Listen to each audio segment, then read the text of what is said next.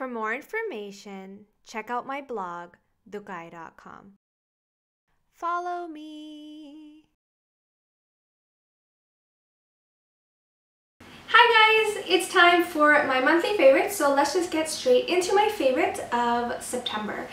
The first thing that I wanted to talk about is actually a body care product that I've been using. Now I think it was my last favorites video, I mentioned that I don't like to use fragranced body butters or body lotions anymore because my skin just doesn't like it. Like I get little bumps on my skin and it doesn't keep me hydrated, etc, etc. I mentioned that in my previous video, which I'll link somewhere here if you haven't seen. I actually switched out my body wash as well I don't use body wash anymore. And I know that sounds really gross, like ew, what do you use? But I actually switched to soap. And the soap that I've been using for the last month and I've been loving it for the last month is this one right here. It's by Nubian Heritage and this is the African Black Soap.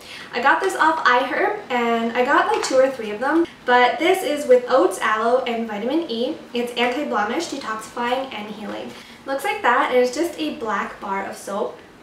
It has like a earthy smell to it. Yeah, I did think it smelled like plantains a little bit and it actually has plantain peel in it. I love plantain chips, they're so good. But anyways, um, this says that it's been used in Africa for centuries to treat eczema, blemishes, oily skin, psoriasis, and other skin ailments, which I don't really have eczema or oily skin or anything like that. I do get the random little acne on my arm. I've been traveling, I haven't really had a chance to do the Epsom salt soap that I mentioned for back acne and body acne, etc. So I've actually been using this for the last month and this has been working wonders. Well, ever since I've been using this, it's been really great. Like my skin stays really hydrated, it's exfoliated. I noticed that my body skin is actually more glowing and really soft, so I really like this stuff. So this is definitely a huge, huge favorite. Um, a lot of people use this on their face too. I mean, I've heard great things about using it on their face. I tried using it on my face and the skin on my face just didn't really like it, but some people say that it works really, really great for them. So try this out if you haven't tried it out already. The next thing I want to show you is a brow product. Now, I just recently started doing my eyebrows probably around the beginning of the year and honestly like ever since I started doing my brows I noticed that my eyebrow hairs would shed and I started getting more sparse areas in my brows and I was like what the heck is going on like why are my brows shedding so much and I actually talked about it in one of my makeup videos before that I think it's the MAC brow sets that make my brows shed. Now, some of you guys mentioned that ha that happens to you guys too, and I was like, okay, I'm not the only one. So I completely stopped using the MAC brow sets, even though I love them so much. And I started using this one by Eyeko, and their brow gel. Um, this is a tinted brow gel, and it says that it's botanically enriched tinted gel to effortlessly define brows for a natural finish. Now, it says um, it features keratin and ginkgo biloba Bilabo? Bilabo. I like that word.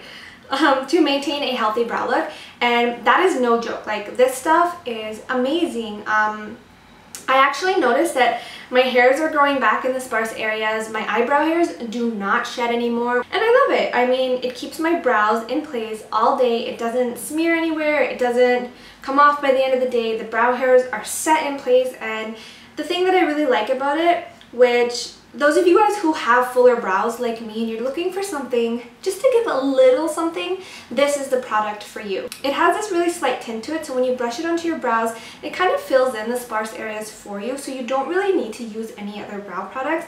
Actually, recently, I haven't even been using the powder to fill in my brows. I've just been using this and it gets the job done. So I love this. I love how it doesn't make my brows shed.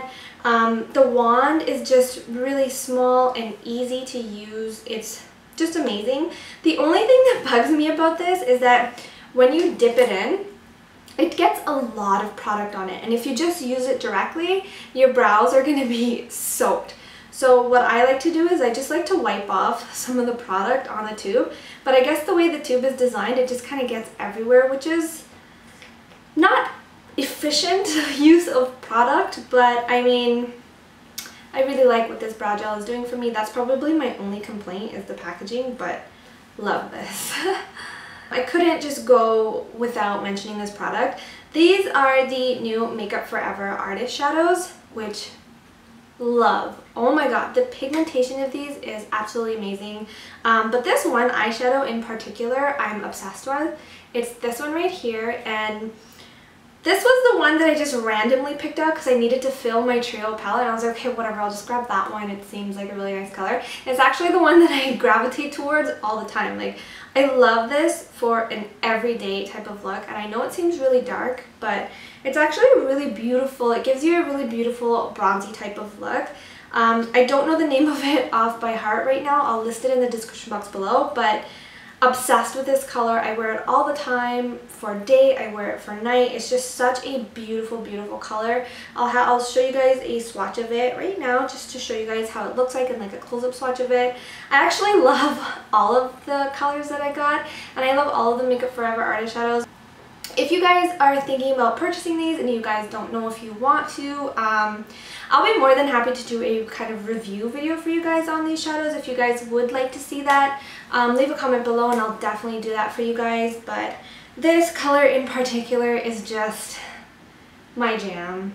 Like, I love it so much. So, um, there's really nothing else I can say about this besides it's such a beautiful color. I feel like it's perfect for whatever skin tone you are, what, no matter what eye color you have, this color is going to make your eyes pop and look absolutely beautiful. Such a perfect color for fall too. Now that the weather's getting colder, this is such a perfect transition color from summer to fall. For those of you guys who are like me and you just don't want to let go of that whole summer glow look, this is just the perfect color. This next eyeshadow is actually from Sigma and this is the one that I've been wearing in a lot of my recent Instagram pictures that so many of you guys have been asking like what are you wearing on your lids? It is this bad boy. Um, this is the Midsummer Loose Shimmer by Sigma. This came out with their Steady Glow collection which don't even get me started on. It is such a beautiful collection because I'm one of those girls that is just all about that glow life. So anyways, it's just a loose sim simmer.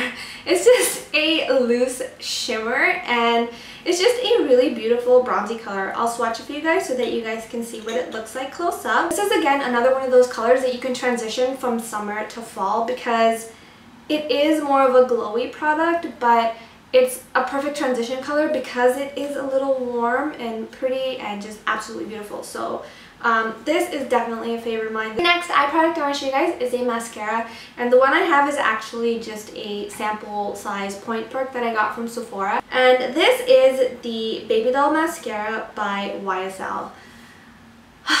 I just, there's just not enough things that I can say about this mascara. I actually just got it because I was like, you know what, whatever, let me just try it out because I'm the last person that wants to try mascaras because I am just a creature of habit. I love my dream team and like that's it for me. It's inexpensive and it's just like, it works, leave it alone. If it works, leave it alone. But I get that little itch in me that's just like, you have to try it, you have to try it. So I actually picked this up as a 100 point perk from Sephora and I'm happy that I got it as a point perk because it's such an amazing mascara, but I'm sad at the same time because it's so expensive and mascara is just one thing that I cannot justify paying so much money for, but I probably will be getting the full size of this because this mascara is absolutely amazing. Like, it's the perfect skinny little wand that has all these little plastic bristles on it and it's rounded at the top.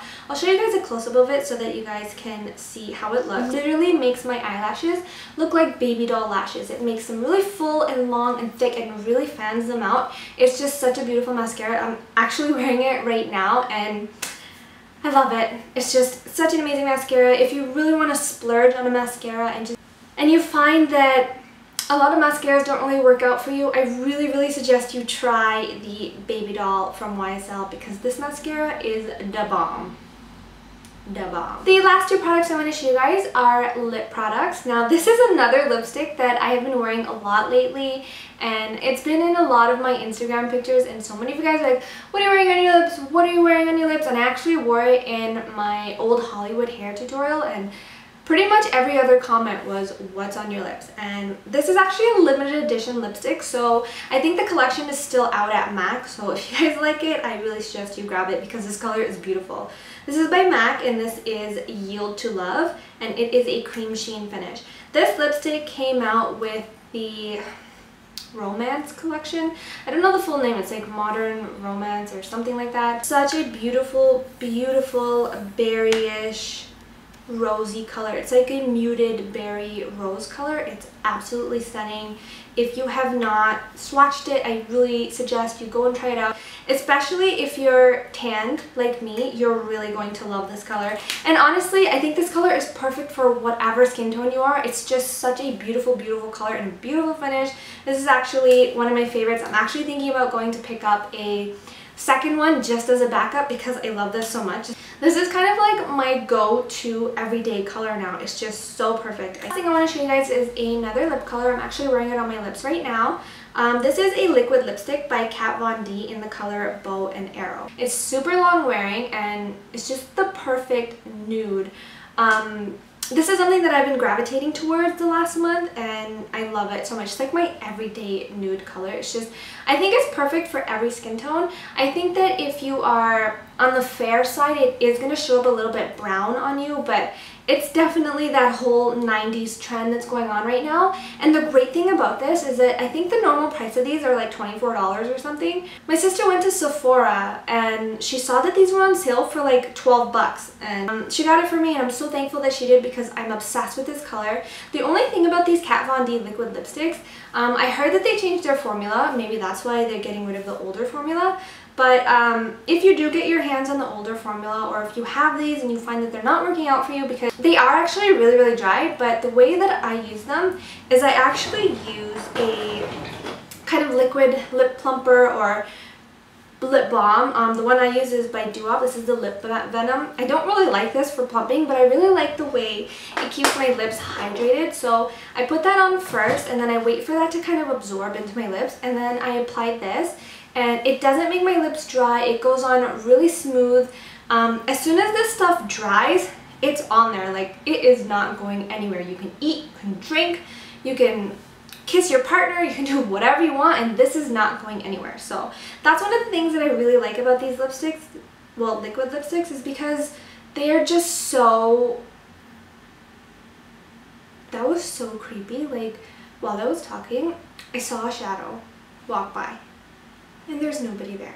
Anyways, before I got freaked out, um, I really love how long wearing these are. They're absolutely beautiful and this color in particular is one of my favorites. It's just such a beautiful nude. Like I said, this is the one that I'm wearing right now and yeah. So that's it for my favorites of the last month. Leave me some comments below. Let me know what some of your favorites have been. Um, I really hope that you guys enjoyed this video. Give it a great big thumbs up if you did. Don't forget to subscribe if you're not and I will see you guys in my next video.